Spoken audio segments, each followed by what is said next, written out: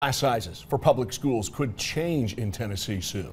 It could be up to local school districts to choose how many kids would be allowed in each class. Our Ellie Bird digs into what this could look like for your kids' classrooms.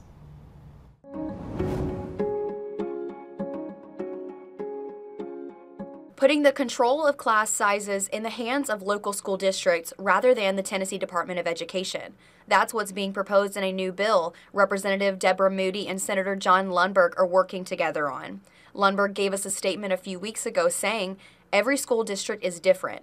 This bill will give LEAs the power to make class size determinations based on what will work best for the students and teachers in their district. However, Representative Gloria Johnson says the state should be working to make classes smaller instead. Certain classes and things like that that can be larger, but if you're wanting everyone to succeed, then everyone needs the time and attention from the teacher, and they're not going to get it in a classroom the size of 50. Right now, state law requires K through 3rd grades average class size to be 20 students, max of 25.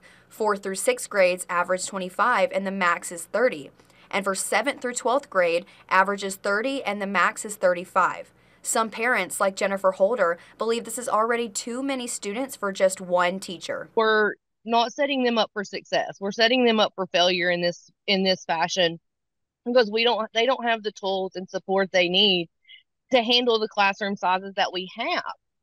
More or less adding more students to each classroom. Each district would decide the number of students allowed in a class, the only stipulation being the class sizes must comply with all state and local building requirements, as well as the Individuals with Disabilities Education Act. Johnson is worried this is going to hurt rural schools the most. The counties that struggle to meet their budgets anyway, that feel like, well, we don't want to cut and, and add add to the class sizes but because of our budget, we're going to have to. The bill would also let schools put different grade level students in classrooms together. In Knoxville, Ellie Bird, WVLT News.